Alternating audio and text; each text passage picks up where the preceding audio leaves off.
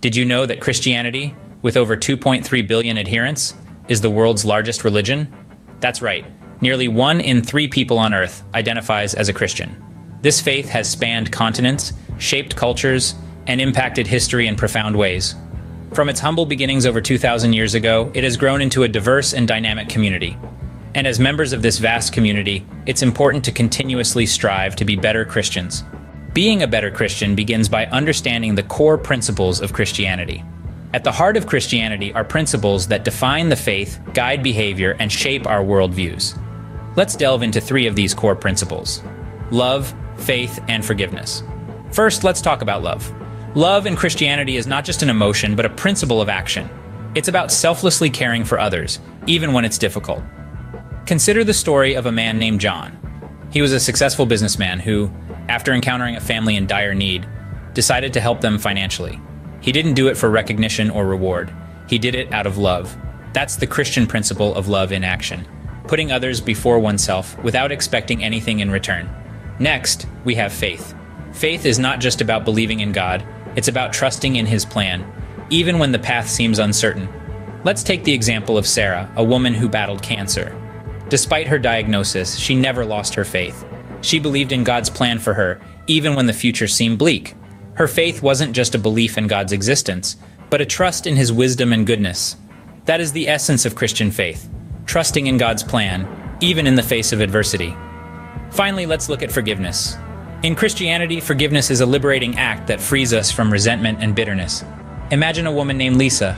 She was deeply hurt by a friend, but instead of holding on to resentment, she chose to forgive. This act didn't justify the wrong done to her, but it released her from the burden of anger and bitterness.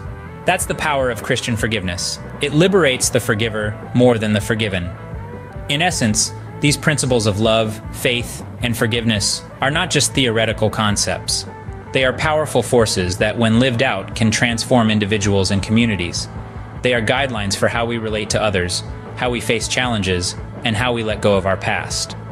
These principles aren't just theoretical, they can and should be applied in our daily lives. Practicing faith isn't just about going to church on Sundays, it's about living out your beliefs every day. It's like breathing, something we do without even realizing it.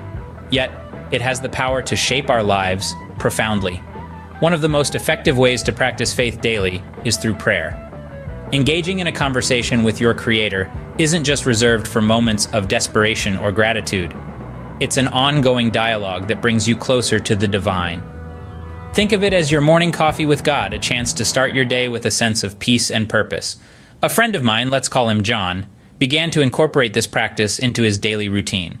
He started his day with a quiet moment of prayer, taking the time to express his hopes, fears, gratitude, and even doubts. Over time, he noticed a significant improvement in his mood and overall well being. He was calmer, more focused, and felt a deeper connection to his faith. Another way to practice faith daily is through reading Scripture. The Bible isn't just a book, it's a guide, a roadmap, a source of wisdom and inspiration. By reading even a verse or two each day, you immerse yourself in the teachings of Christ and find guidance for your everyday life. Take the story of Sarah, a busy working mom who found solace in the scripture. She would read a verse or two during her lunch break, finding strength and inspiration in the words of Christ. The scriptures became her source of comfort and guidance, helping her navigate through life's challenges with grace and courage. Lastly, practicing faith isn't just about personal growth, it's about making a positive impact in the world, doing good deeds, helping those in need, spreading kindness and love. These are the true manifestations of faith. Remember, faith without works is dead. So let's make our faith alive and vibrant through our actions. Make practicing your faith a daily habit, not just a weekly ritual. Because faith isn't something we put on like a Sunday best, it's who we are, in our most ordinary moments and our most extraordinary ones. Scene script. Part of being a good Christian is building and nurturing a supportive community. In the grand tapestry of Christianity, community holds a prominent place. It's an assembly of individuals who share common values, beliefs, and most importantly, a common faith. It's not simply about attending Sunday service, but about forging meaningful connections with those around you, amplifying the power of faith through shared experiences. Imagine a friend named John. He moved to a new city, leaving behind a network of support, family, and friends. He felt isolated, disconnected. But then, he began attending a local church. and joined a Bible study group. Over time, John found more than just a congregation. He discovered a community, a second family that offered him strength, comfort, and companionship. This is the power of a community in Christianity. Building such a community isn't an overnight task.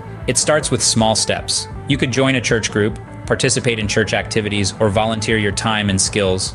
It's about reaching out, opening your heart to others, and letting them into your life. It's about being there for others, just as Jesus was there for his followers. Through volunteering, you not only serve your community, but you also demonstrate the very essence of Christianity love, compassion, and selflessness. It's an embodiment of Jesus' teachings and a testament of your faith. And remember, you're not alone on this journey. There are others around you seeking the same connection, the same sense of belonging.